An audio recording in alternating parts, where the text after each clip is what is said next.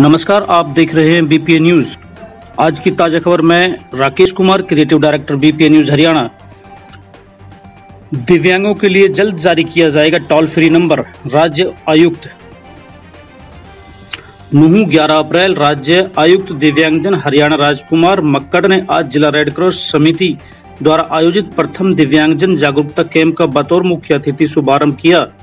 उन्होंने कहा कि दिव्यांग, दिव्यांगजन हमारे समाज का अभिन्न अंग है। जिन्हें समाज की मुख्य धाराओं में शामिल करना चाहिए। इसके लिए सरकार हर प्रकार से प्रयासरत है। जिसमें जन सहयोग अपेक्षित है, उन्होंने कहा कि दिव्यांग जनों के लिए नौकरी में चार प्रतिशत आरक्षण दिया जा रहा है। उन्होंने बताया कि जल्द ही दिव्यांग जनों के लिए टोल फ्री भी जारी किया जाएगा।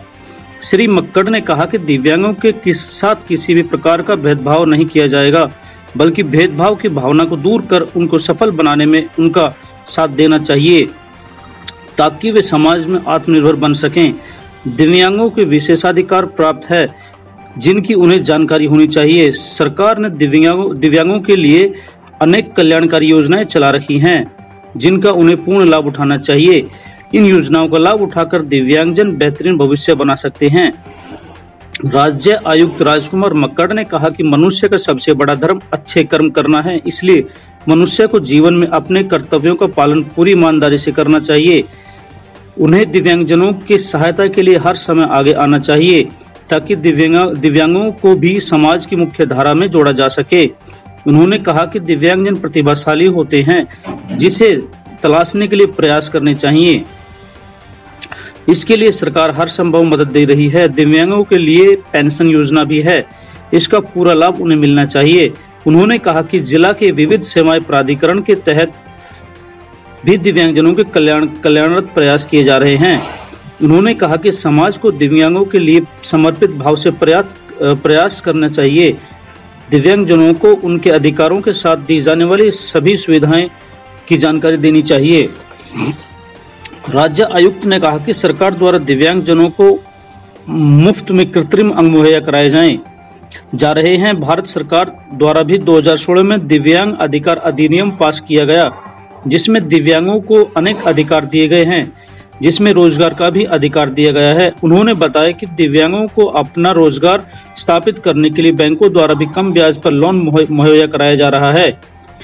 रेड क्रॉस सचिव महेश गुप्ता इस जागरूकता कैंप में 440 दिव्यांगजन द्वारा रजिस्ट्रेशन करवाया गया जिनमें से 320 मोटर राइड ट्राईसाइकिल 50 दिव्यांग दिव्यांग योग, योग रोज़गार हेतु 30 दिव्यांगजन पेंशन संबंधित 40 दिव्यांगजन प्रमाण पत्र से संबंधित समस्याओं को यथाशीघ्र निवारण के लिए संबंधित अधिकारियों को दिए।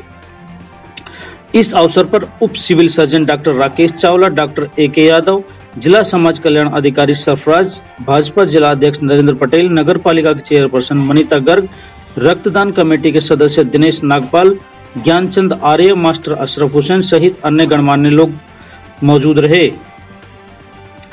कोरोना से बचाव के लिए स्वास्थ्य जीवन शैली एवं आयुर्वेद को अपनाएँ। धीरेन्द्र खटकड़ा, सफल टीकाकरण अभियान की रोकथाम का समाधान। नूह 10 अप्रैल, उपायुक्त धीरेन्द्र खटकड़ा ने जिला वासियों का आह्वान किया है कि वे कोरोना को हराने के लिए स्वास्थ्य शैली स्वस्थ जीवन शैली एवं आयुर्वेद को अपनाएँ।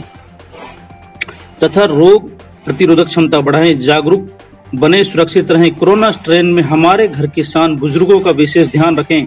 कोरोना का टी थ्री मंत्र से करेंगे सामना। देश में बनी दोनों कोरोना वैक्सीन पूरी तरह सुरक्षित एवं प्रभावी हैं। कोरोना टीका को लेकर किसी के बहकाव में न आए। उपायुक्त ने कहा कि टीका लगवाने के लिए मौके पर ही पंजीकरण की सुविधा उपलब्ध है। इसके अलावा टीका लगवाने हेतु वेबसाइट www.cowin.go.in पर भी पंजीकरण करवा सकते हैं। इस महामारी के लक्षण नज़र आने पर तुरंत जाँच अवश्य कराएँ। टीकाकरण जागरूकता के लिए 200 घरों का एक आशा एवं एक आंगनबाड़ी कार्यकर्ता लगाई गई हैं। पूर्व निर्धारित रोग से ग्रस्त 45 वर्ष आयु के व्यक्ति एवं 60 वर्ष से अधिक आयु के व्यक्तियों को टीकाकरण के लिए प्रोत्साहित करें। उन्होंने कहा है कि कोरोना को हराने के लिए सभी स्वस्थ जीवन शैली तथा आयुर्वेद को अपनाकर रोग प्रतिरोधक क्षमता बढ़ाएँ। भोजन में हल्दी, जीरा, धनिया एवं लहसुन का उपयोग करें। प्रतिदिन गिलो का भी सेवन करें। तुलसी, दालचीनी, काली मिर्च, सूंठी, मुनक्खा आदि से बना काढ़ा पिए। हल्दी युक्त गर्म दूध का सेवन करें। तिल, नारियल का तेल या घी नाक में दोनों छिद्रों में लगाएँ। योगासन, प्राणायाम का ध्यान करें। केवल ज़रूरी होने पर ही घरों से बाहर निकलें तथा भीड़ भाड़ वाले स्थानों पर जाने से परहेज करें। उन्होंने कहा है कि बुज़ुर्ग हमारे घर की शान कोरोना स्ट्रेन में बुज़ुर्गों का ध्यान विशेष रखें। घर पर हल्का व्यायाम कर, व योग करें। अपनी निर्धारित दवाएँ नियमित रूप से लें। घर पर बने ताजे भोजन के माध्यम से उचित पोषण प्राप्त करें। दैनिक प्रयोग की वस्तुएँ जैसे चश्मा रिमोट आदि को क्लीनर से बार बार साफ़ करें।